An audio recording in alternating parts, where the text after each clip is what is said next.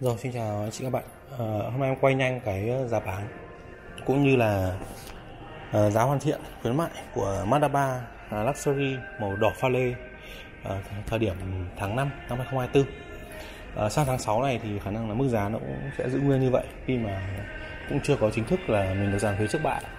Thì à, Mazda 3 hiện nay em bán là 4 phiên bản à, Deluxe 579 Luxury 624 bản à, Pre thì à, 729 nhưng mà khá ít xe rồi. À, bây giờ sẽ là bán uh, Mazda 3 Signature 739 triệu ạ. À, giá trên là giá chưa ra biển anh chị nhé chưa ra biển chưa khuyến mại. Thì uh, với cái bản Luxury màu đỏ pha lê như này hay các màu thì bên em đều bán uh, cùng giá. À, tháng 6 này thì uh, sẽ giảm 5 triệu tặng một năm bảo hiểm thân vỏ theo xe. À, nếu mà anh chị không có nhu cầu lấy bảo hiểm thì bên em có thể quy đổi về 5 triệu tiền mặt đó. Nếu mình không lấy bảo hiểm thì sẽ giảm là 10 triệu. Thì ờ, với những khách hàng thông thường giảm 5 triệu và tặng thêm một năm bảo hiểm thân vỏ thì mình hoàn thiện ở Bắc Ninh đâu đó vào khoảng hơn 680 một chút ạ. À, 680 cho một mẫu xe hạng C thời điểm này thì phải nói là rất là rẻ rồi. À, Atit hay là Civic thì giá nhìn hơn một chút ạ. À, Elantra thì vẫn cao. À, đa phần là Thaco thì họ để cái mức giá dễ tiếp cận hơn. Mazda 3 hoặc là K3 thì uh, xe thì cũng rất là sẵn rồi. Uh, mình có nhu cầu có thể alo uh, xem xe và uh, tùy chọn phiên bản để lấy ngay. Thì em cũng phải giải thích qua một chút thì uh, hiện nay Thaco cũng không có đàm phán nhiều về giá bán ấy. đa phần là mức giá thay đổi sẽ được uh, cộng uh, tăng giảm trừ thẳng của giá niêm yết luôn.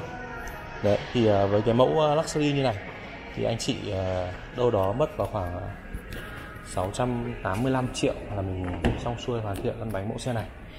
À, ngoài ra thì ờ, xe được trang bị phim cách nhiệt Luma của Mỹ bảo hành 5 năm. Thảm lót chân bọc vô lăng ví da. À, khách của em thì có làm thêm đây, bậc lên xuống chống xước à, trải thảm 6D ngoài ra thì ừ, cũng có luôn cả cam 360 quanh xe. À, nguyên bản của xe thì cũng có đầy đủ như là ghế điện nhớ ghế hai vị trí phanh tay điện tử auto hold rất là đầy đủ rồi. Đó, công nghệ thì à, bản luxury này sẽ thua một chút so với bản pre cao cấp ở cái adaptive cruise control và cảnh báo giữa hai làn đường. Thì anh chị có thể à, cân nhắc sử dụng thêm một số option. Thì cái mức chênh lệch hơn 100 thì nó cũng rất là nhiều so với khúc như này. Thì mình hoàn toàn có thể trang bị thêm uh, uh, cam Việt Map này cảnh báo tốc độ này. Đấy. Ờ, cam 360 quanh xe cảm biến áp suất lốp. Ờ, em đang sử dụng khách hàng là loại ờ, pin ngoài và pin mà sạc pin bằng năng lượng mặt trời như này. Thì cũng là loại giá tiền hợp lý ạ. Đây. Auto hold phanh tay điện tử. Ừ, Hộp số 6 cấp. Máy 1.5 Skytip và có lấy chuyển số trên vô lăng nhé đấy thì uh, số 6 cấp này của Mazda thì uh, mình đi cũng rất là tốt đổ đèo leo dốc số tay giải lập. Ngoài ra thì phiên bản này thì cũng không có cửa sổ trời nha anh chị nhé đấy uh, gương chống chói tự động rồi điều hòa tự động hai vùng. Đấy, thắt bật cảm biến hay là nhớ ghế thì uh, trang bị đầy đủ. Đàm thoại rảnh tay hay là cruise control có giới hạn tốc độ lim.